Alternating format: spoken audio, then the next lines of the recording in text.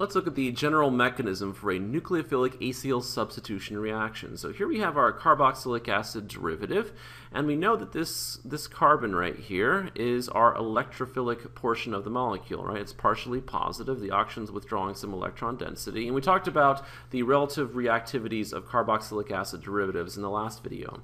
And so that carbon is where our nucleophile is going to attack. So our nucleophile attacks here. These electrons kick off onto the oxygen. So let's go ahead and draw the result of that. We would have an R group over here. We would have a carbon. We would have on this left side here an oxygen with three lone pairs of electrons giving it a negative one formal charge. So let's say that these electrons in here in magenta right, move off onto our oxygen, so a negative one formal charge. Right, over here on the right, we have our Y substituent, and now our nucleophile is bonded to our carbon. So let's show those electrons in blue here. So these electrons in blue, right, attacked our carbonyl carbon and formed this bond. Right, to go from our tetrahedral intermediate here to our final product, we must reform our carbonyl. Right, so these electrons would have to move into here. And then that would push these electrons off onto our Y substituent. And we would form, uh, if we started with a, right, this would be a Y negative now. So we have a negative 1 charge on our Y, right, when those two electrons move off on it. So let's show those electrons here in green. So these electrons in here move off onto the Y to give us a negative 1 formal charge. All right, this is our leaving group. This is our leaving group right here. And we can see the end result. Right, the end result is to is to substitute our nucleophile for our Y substituent, and this portion is called an acyl group. So we have nucleophilic acyl substitution, where our nucleophile substitutes for the Y group. And so there are several there are several aspects to this mechanism that we need to talk about. Uh, we've already talked about uh, the reactivity of carboxylic acid derivatives in the previous video. So, so what does the substituent do to the reactivity? How does it affect the partial positive charge on the carbonyl carbon? And we saw that acyl chlorides are the most reactive. So we compared the inductive effects versus, uh, versus resonance effects for our carboxylic acid derivatives. Right, so other things that, that could affect this mechanism Right, one thing would be uh, could be steric hindrance. So thinking about this R group on our carboxylic acid derivative. If the R group was a methyl, right, versus a tert butyl, the tert butyl group uh, would have increased steric hindrance. It's much bigger, and so uh, that could prevent the nucleophile from attacking. So steric effects are something to think about right? So the reactivity of your carboxylic acid derivative is something to think about. The strength of the nucleophile is another thing to think about, right? So you want a strong nucleophile to attack your carbonyl carbon. And then in this video, we're going to focus mostly on the leaving group, so the stability of the leaving group. You want something that's stable with a negative 1 formal charge on it. It's much more likely to leave if it's stable.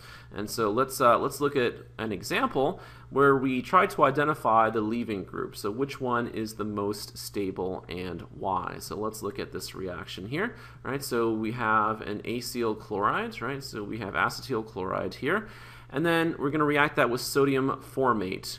So acetyl chloride, this is our this is our reactive portion of the molecule, right? So oxygen is more electronegative, chlorine is more electronegative, so that means that this carbon right here is partially positive. So that's our electrophile. Our nucleophile is sodium formate, right? Negative one formal charge on the oxygen. So this is going to be our nucleophile and attack our electrophile, right? And so these electrons are going to come off onto the oxygen. So let's go ahead and draw our intermediate we would have our oxygen here now has three lone pairs of electrons, so negative one formal charge. So let's follow those electrons in here, right? So in magenta, these electrons move off onto our oxygen. And what else do we have bonded to this carbon? We have a CH3 over here on the left. On the right, we have a chlorine. Let me go ahead and put in lone pairs of electrons on the chlorine.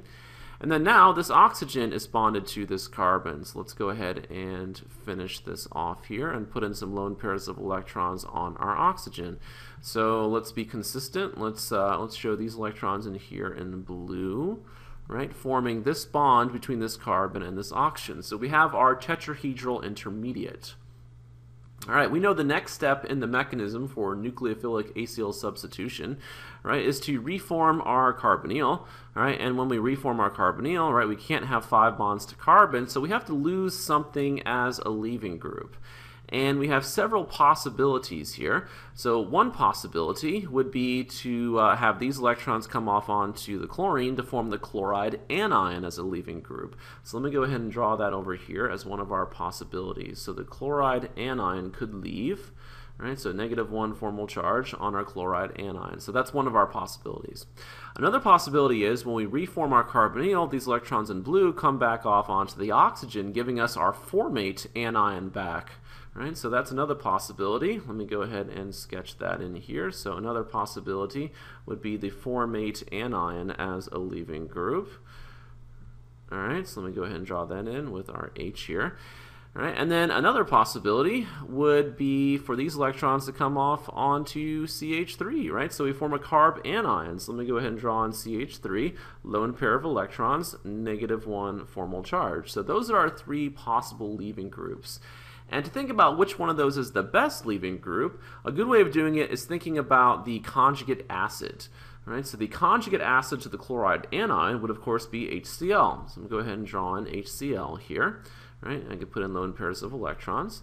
The conjugate acid to the formate anion would be formic acid. So let me go ahead and draw in formic acid here. And the conjugate acid to our carbanion would of course be methane. So we have CH4. When we think about the pKa values for these acids, right, the pKa of hydrochloric acid is approximately negative 7.